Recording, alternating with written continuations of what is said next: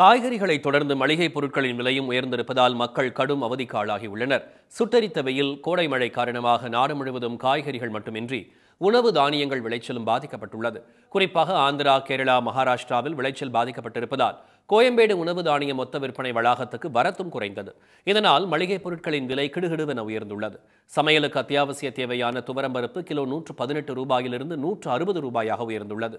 பாசிப்பருப்பு விலையும் நாற்பது விழுக்காடு வரை அதிகரித்துள்ளது.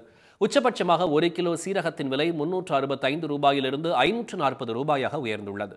மிளகு கிலோவுக்கு ஐம்பத்தெட்டு ரூபாய் அதிகரித்து விற்பனையாகிறது.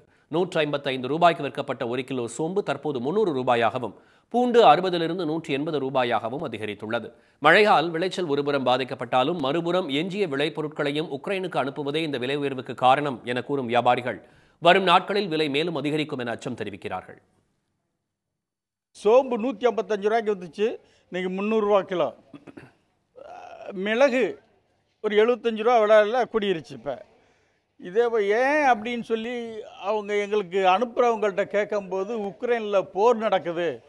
அதனால் வந்து அங்கே அனுப்புறதுனால இங்கே வந்து அனுப்ப முடியலை. விளைச்சலும் கொஞ்சம் கம்மியாக இருக்கிறதுனால வந்து எங்களால் உங்களுக்கு எங்கள் நாங்கள் ரெகுலர் கஸ்டமர் எங்களுக்கு சி எங்களுக்கு அனுப்பிட்டு தான் அங்கே கொடுக்கணும் அப்படின்னு நாங்கள் சொன்னாலும் கூட வந்து எங்கள் அரசாங்கத்தில் சொல்கிறாங்க உக்ரைனுக்கு அனுப்பி விடுங்க அப்படின்னு சொல்கிறாங்க நாங்கள் அனுப்ப வேண்டிய சூழ்நிலையில் நாங்கள் இருக்கோம் அப்படின்னு அவங்க சொல்கிறாங்க இது இன்னும் மேலும் கூடும் இப்பயாவது பரவாயில்ல இன்னும் மேலும் கூடுகிறதுக்கு வாய்ப்பு இருக்குன்னு சொல்கிறாங்க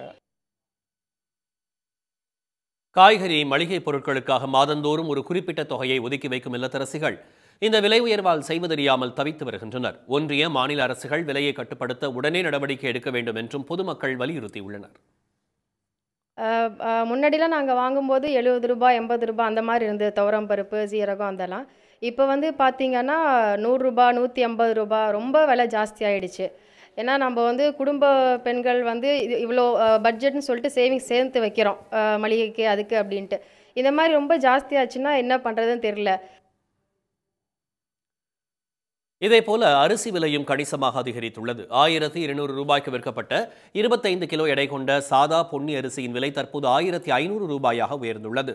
பச்சரிசி பாசுமதி அரிசி விலையும் உயர்ந்திருப்பதால் பொதுமக்கள் கவலையில் உள்ளனர். உடனுக்குடன் செய்திகளை தெரிந்து கொள்ள சன் நியூஸ் பெல் கிளிக் பண்ணுங்க.